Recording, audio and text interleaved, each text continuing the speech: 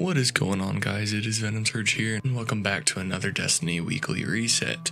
I am a little sick, so my voice is going to be a little off today. Sorry about that. It is currently May 16th, and for this week, it is actually the end of the Guardian games. So get your last points in Titans. We need to win this thing.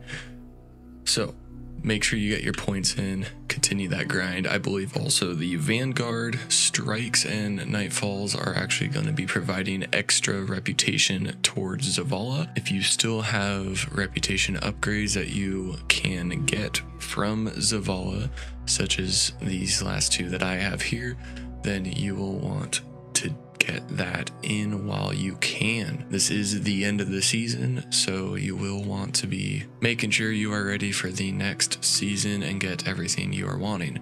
But first up, let's go check out what Banshee 44 has for us.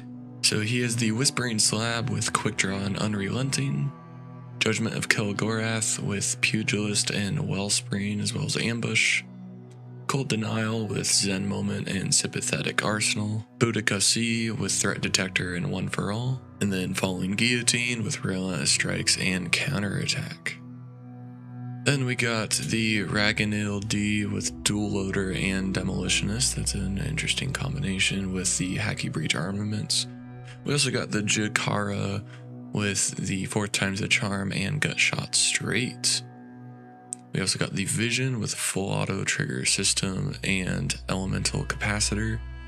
The Akilos hand cannon with off hand strike and adaptive munitions. The Typhon grenade launcher with explosive light, that is really good, and unrelenting, so that might not be a bad roll. And then we also got the Marsilion C with Envious Assassin and Danger Zone. So, guys, next up, we are going down Because it is the last week of the season, make sure you get the final 10 bounties for your armor synthesis. This is going to be resetting next week, so you want to get all of them as possible.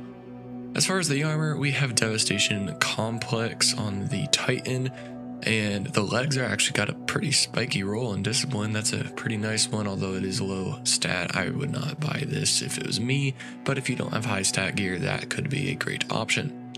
As far as the shaders, we have Envious Touch. Gives this nice like chrome effect going on. Then we have Echoes of Io. As well as Dead Orbit Vision. Okay guys, then for the Hunter, we got the Road Complex outfit and then on the Warlock, we have the High Minded Complex. And then, guys, because it is the last week of the Guardian Games, make sure you also get your runs into these because you do get the pinnacle gear from here if you are past the hard cap. And if you are under the hard cap, you can still do your powerful gear on your normal weekly bounties. And then, guys, in Eververse, we got the Torchlight for 3200, Bright Dust,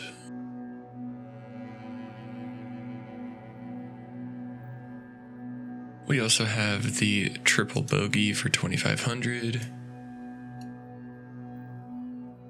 The contenders entrance transmat effect.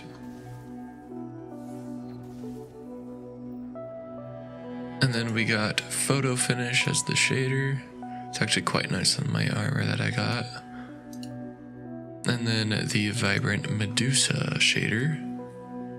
Very intense green, vibrant is very correct.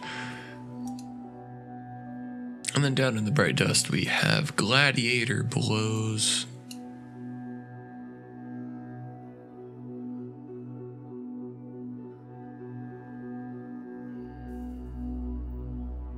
Then we got Power Lift.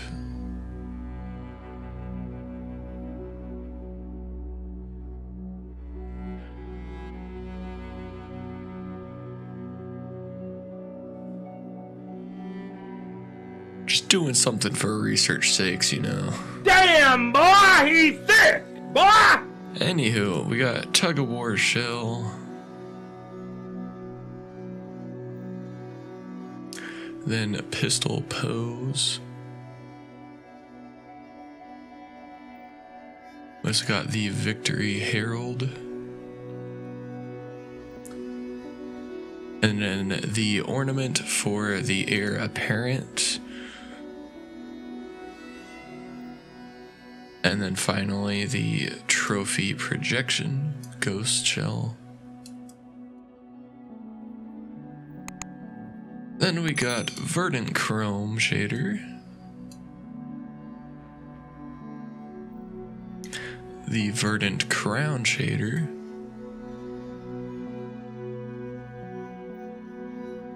The rival Rivalry Black Sand.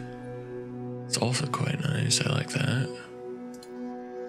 And then the Grayscale Undergrowth.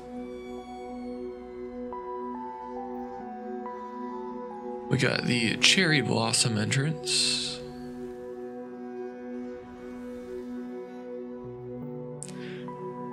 The AI Com reboot.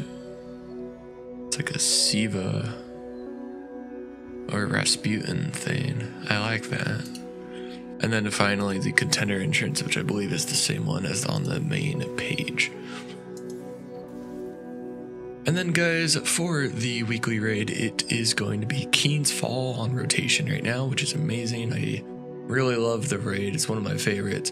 But I am also going to be farming that for the Touch of Malice and some better weapons and armor. For the dungeon, it is Grasp of Avarice this week, so get your runs in there, especially if you haven't done your Gjallarhorn quest yet. For the Crucible, we still have the Supremacy from the Guardian games, and then our normal control and Clash. And then over here in Neomuna, we have Downfall as the heroic campaign with your barrier and unstops, void and strand surge, and trace rifle damage is increased.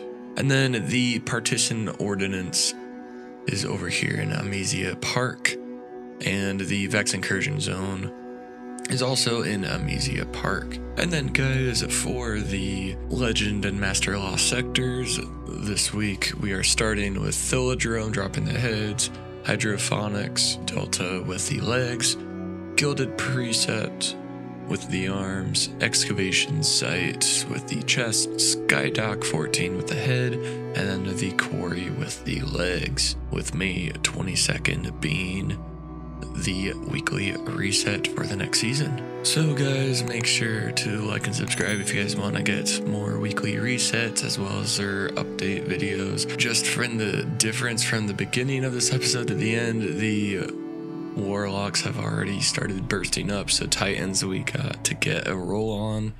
Let's win this thing. Hope you guys enjoyed the video, and I will see you guys next time.